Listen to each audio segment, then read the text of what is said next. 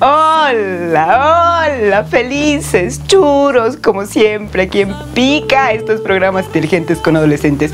Mandamos un abrazo, un abrazo dulce, dulce, como son todos los tariqueños y tariqueñas, felicitándolos en su día. Hoy, miércoles 15 de abril, felicidades a todos los chapacos carismáticos y carismáticas que hay en Bolivia. Muchísimas gracias por habernos recibido siempre para hacer nuestros reportajes. Vamos a los titulares. Hoy, en tu programa más valiente, el más renegado, el más rebelde, el más rudo, Pica, nos vamos a jugar un poco de rugby.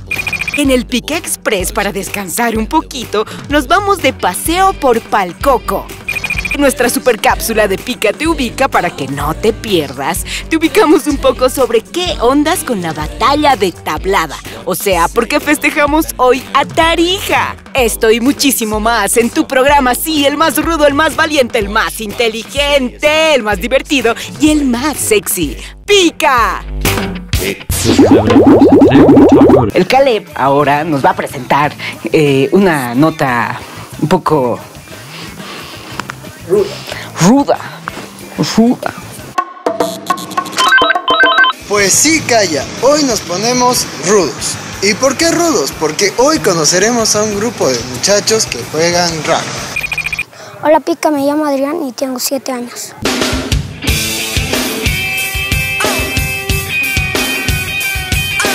Rugby es un juego donde tienes que trabajar en equipo, si no, no sirve.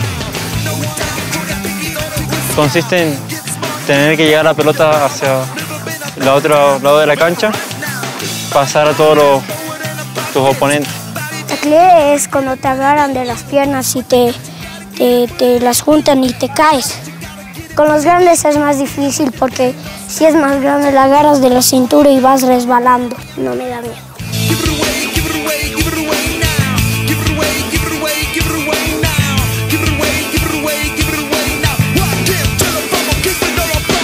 Tenía que taclear a mi compañero y el sonso eh, se movió y al decirle que, que, no tenía que moverse me levanté y me, me, dio con el hombro en el ojo.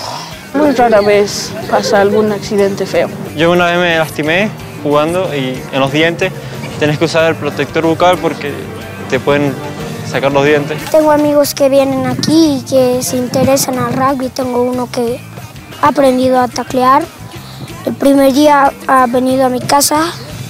mi hermano tiene una pelota que ya no sirve y hemos jugado con eso y le he aprendido y nos hemos lastimado mucho.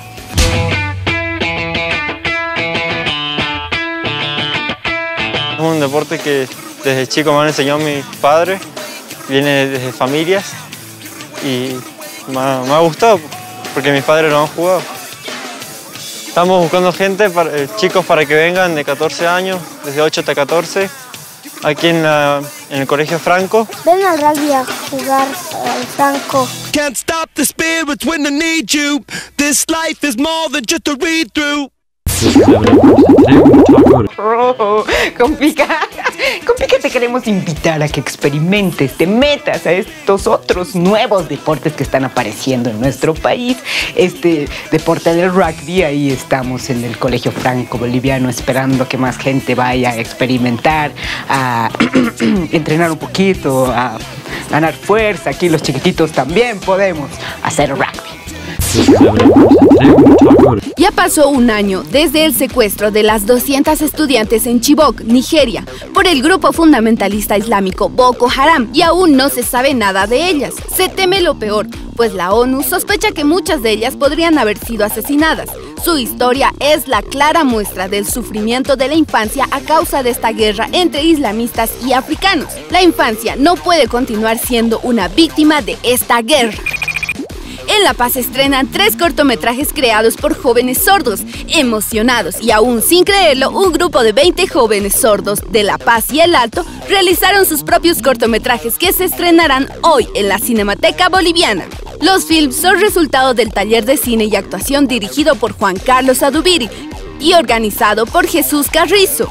Muchas, pero muchas felicidades a este grupo de jóvenes y a seguir adelante. querer es poder. Qué lindo, pues qué lindo que Pica esté viajando tanto. Si llevaran algunos los conductores también, no solo los reporteros. Dorita, ¿dónde hemos ido ahora? Queremos viajar, queremos viajar. Ay, cállate, apoyo rotundamente en la propuesta. Exigimos los conductores de Pica.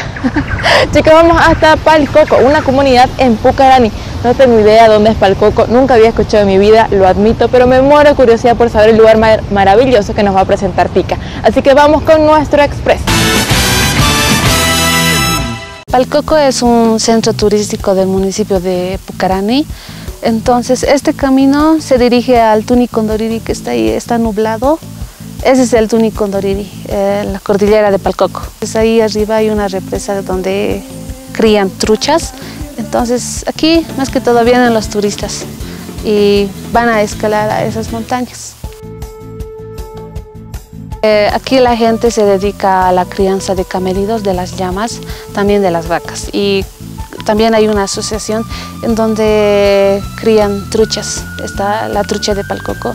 Es de carne roja y es bien rica. Es distinta a los que, a los que crían en el lago Titicaca y en esos lados, porque la carne es blanca. Todos los chicos eh, van a trabajar en lo que es cargar piedra. Como aquí en Palcoco tenemos un río grande en donde hay hartas piedras y ese río también tiene dueños. Está partido por, por partes, por metros, entonces una parte también donde toman algún recurso para, para estudiar, para algunas cosas que necesitan los chicos.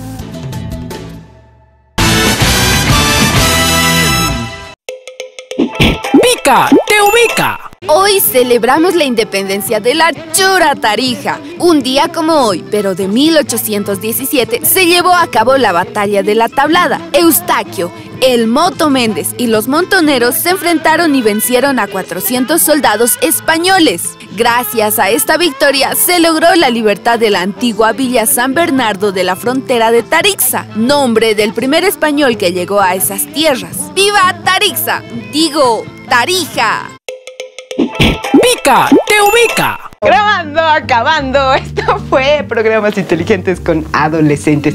No te olvides que estamos en www.pica.com.po y no te olvides también que mañana, 16 de abril, es el día en contra de los niños esclavizados en el mundo.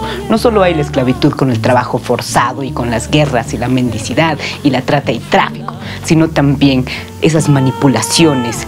Hay cadenas psicológicas también. Niños que están en deudas, que están... ¡Ah! Un montón de cosas. No a la esclavitud.